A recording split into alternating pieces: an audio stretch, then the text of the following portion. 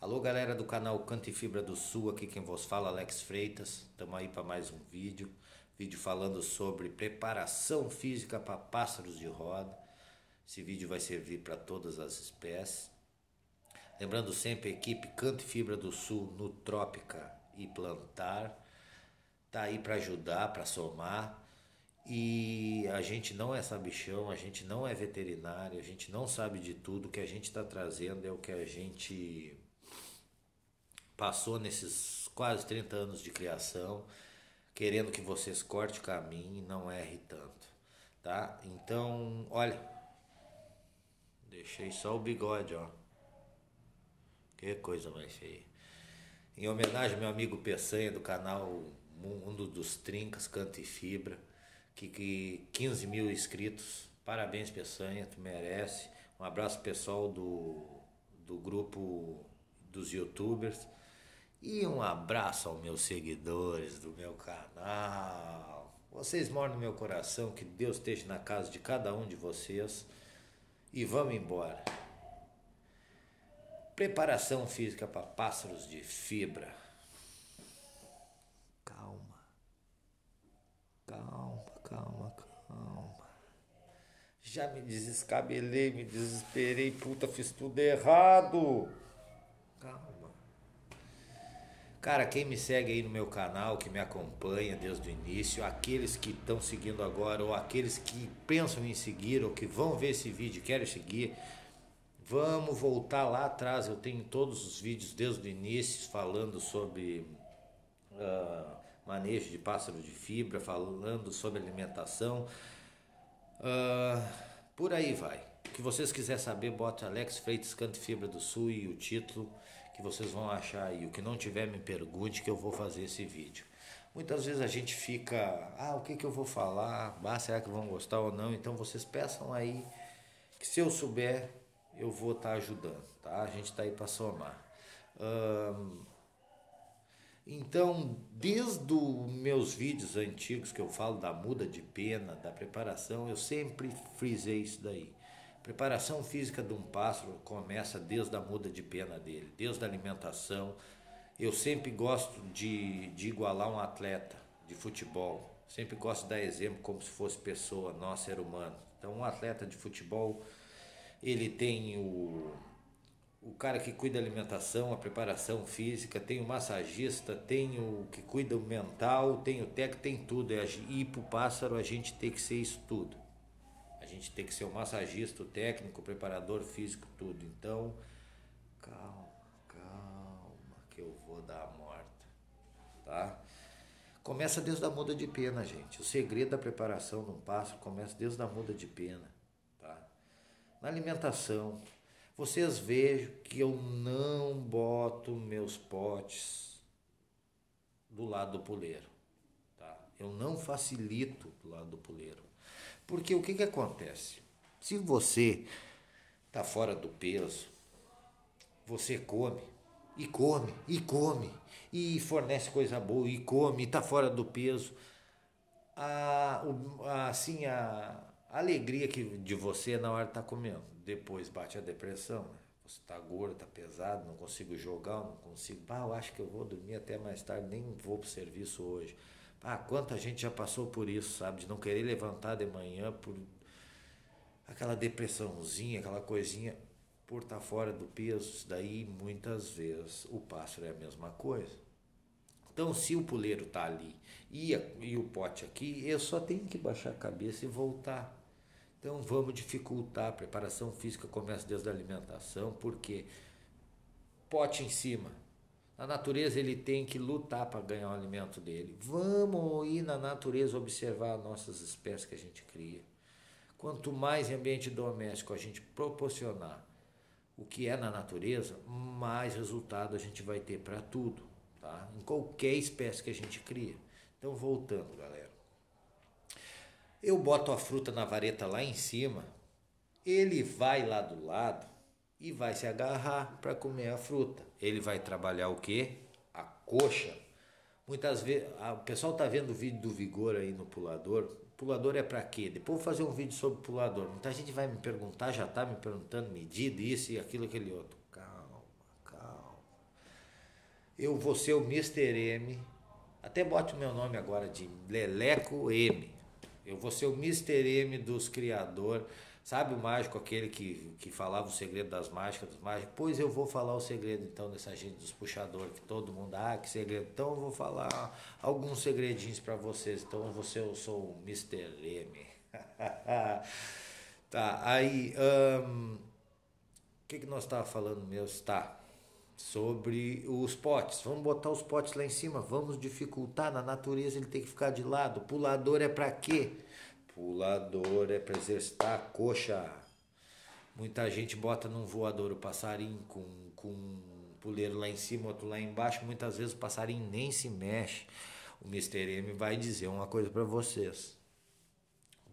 Vou dar exemplo de pessoa de novo. Bota você dentro de um quarto, um videogame, com tudo de bom que for, e você vive mais de ano dentro daquele quarto, com as coisas sempre no mesmo lugar. O que, que vai acontecer?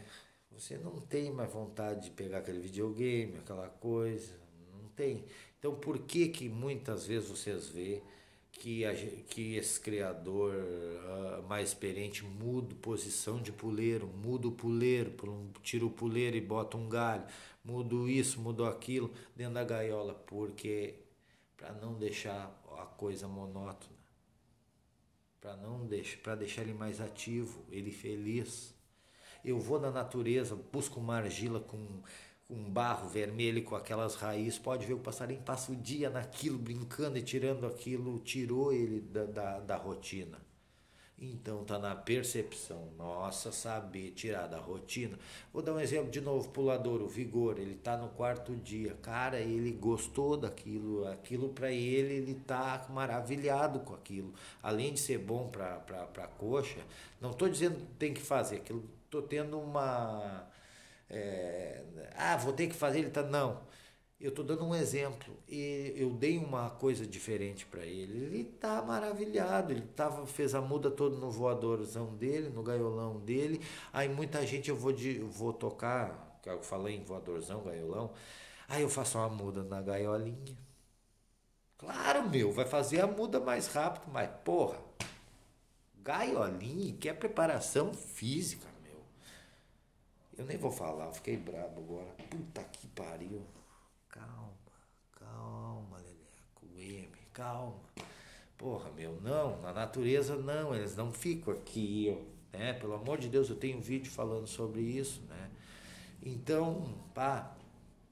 Tá, eu botei no gaiolão, passarinho, eu vou diversificar, eu não vou deixar a coisa monótona. Eu fiz a muda no gaiolão, comecei a preparação física dele ali passarinho tá bem, não tem como fazer o pulador, Alex. Então eu vou botar a fruta na vareta lá em cima, ele vai mexer aqui, eu vou botar um soro, vocês veem que tem um soro na gaiola do vigor. Ele vai lá, que ele é um balancinho, saltador simílis. Vou dar um exemplo do trinca, ele mais salta do que voa. Vão na natureza observar a espécie. Quem é que vê trinca-ferro voando meio quilômetro, um quilômetro, longa distância? Porra, é difícil, se um predador estiver atrás dele, ele mais pula do que voa. Então, muita gente me perguntou no gaiolão por que um monte de puleira embaixo nesse teu gaiolão desse tamanho. Bota a puleira embaixo, mais perto, e em cima dois altos. Se ele quiser voar, ele voa, se ele quiser pular, ele pula. Você já fez a preparação Deus da muda na alimentação, ele fez num gaiolão show, ele não está acima do peso, ele não vai ficar mórbido. Né? Então a preparação física, esse vídeo não vai ser uma. Ah, tem um monte de coisa assim nova, diferente. Não, eu vou só frisar o que é a preparação física começa já na muda. Na muda, tá? Eu tô aqui com a, a camiseta da Nutrópica, até falando nisso, sobre a Nutrópica Fit, ó, que bonita camiseta.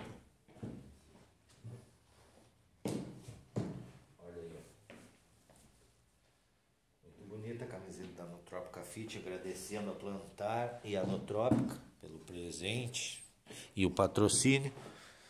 Tá? A Nutrópica Fit veio para isso daí, galera. Porque se você vê na muda de, de pena, a alimentação diminui, a abundância de alimentos é pouca, o passarinho tende a emagrecer. Ele solto, ele emagrece. Passarinho gordo não é fértil, ele perde a fertilidade, ele, ele uh, não baixa o espigão, né, não se apronta na hora certa, muitas vezes nem se apronta, cria calo na. Bom, vocês viram os o vídeo sobre atenção que eu falei os erros aí. Olha esse vídeo, é muito importante sobre erros. Então, a Nootropica Fit ela veio para quê? Ela veio para uh, tentar igualar como é na natureza. O passarinho é, é uma, ele vai se manter e não vai engordar. Depois da muda entra com a natural e na época de competição a power. Então a, a, tenta seguir como é a natureza. Então ali na alimentação já está a preparação física. Entendeu? Então começa, não tem muito segredo, começa ali. Tá, Alex, mas e aí eu não tenho como fazer pulador, terminou a muda, o que que eu faço? Calma, calma. Vamos dar sol. Vamos dar o tempo de sol que a gente puder dar, quanto mais melhor. Claro, não vou botar num sol de 40 graus passarinho. Não, vamos dar sol, vamos, vamos ter a percepção, jamais tocar um passarinho. Tá? Botar num voador e tocar Confiança é tudo do, do dono com o pássaro. Pelo amor de Deus. Não vamos tocar um passarinho para ele perder a confiança, ter medo e fazer tudo forçado. A gente estiga a fazer. Olha o pulador do vigor. Eu botei uma couve lá em cima para ele ir no pêndulo que eu queria que ele aprendesse no pêndulo. Então a gente estiga o passarinho a fazer, a gente não força. Tá? Então vamos botar no sol. Ah, vou botar um áudiozinho então. Pelo amor de Deus, gente. Ah! Calma, calma, Alex. Porra, tô com frio na careca que tá frio, meu. Mas eu me irritei, meu. Áudiozinho, passo de competição. Puta aqui. Pariu, meu, né? Não. Vamos ter a percepção de fazer algo diferente para ele se agitar mais, como deu a caso, deu dar certo com o vigor no pulador. Show de bola, percepção do criador Tá nisso daí. Eu vou botar meu boneco que tá brilhando na minha careca. Tá, galera? Vamos botar no solzinho. Vamos deixar ele no peso. Que ele se movimentando, ele vai estar tá preparado. Tá? Ah, mas então eu vou levar num pega para preparar. Não. O pega, ah, o mato serve para esquentar o passarinho. Serve como preparação também, mas serve para esquentar o passarinho. E muitas vezes para estragar também a mexida.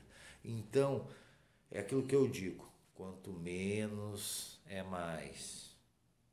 Passarinho de roda, que já tem a mexida, que já sabe o que faz, até mesmo os que não têm a mexida ainda, a gente se testa, se treina, é no torneio, não é em mato, não é saindo, entendeu? Não é Quanto menos sair com passo de roda, menos a gente erra. Mr. M tá aí, dando mais um segredo, que nem deu dos puleiros, porque que a gente troca os puleiros. Outro segredo que eu vou dar, esse vai ser bomba. Tá? Vai ser bomba porque é o seguinte, observação na preparação. Gaiolão é bom, é. Pulador é bom, é. Tirar pro sol é bom, é. Época de competição, época de competição, a gente tem o passo numa gaiola de 80 centímetros a um metro no máximo, ou a gaiola dele de passear, porque ele não tem mais que se desgastar, ele não tem mais que se preparar. Você já cuidou, Deus da muda ele. Então o que, que a gente faz? O que, que os puxadores fazem? Tá? Eles concentram numa menor, com mais puleiro, não se para o passarinho não se desgastar tanto. O que, que a gente vai fazer? O que, que o jogador de futebol faz depois da pré-temporada? Ele só mantém uma rotina de treinos leves para se manter em forma. Então, passo de competição, a mesma coisa. Exemplo, Mr. M. Cara, eu vou puxar o passo de 15 em 15 dias. Na semana que eu não puxar, eu vou dar três dias, talvez quatro, de voador nele, de pulador. Na semana do torneio, eu vou concentrar, eu vou tratar bem da alimentação, tá? Para ele não comer no dia do torneio, ele não tá desgastado, não precisar nada no dia do torneio, tá? Depois eu vou falar um, uns segredos que eu faço que deu muito certo. É na semana do torneio, mas vai ser vídeo para frente aí, tá, galera? Então a preparação física de um pássaro de competição começa desde a muda, desde a percepção da gente de ver se ele está ativo ou não, se ele está no peso ou não, tá? Não adianta a gente eh, forçar nada, sempre tem que ter a percepção e a ideia de instigar a fazer o que você quer, dificultando sempre qualquer tipo de alimentação, inclusive a água?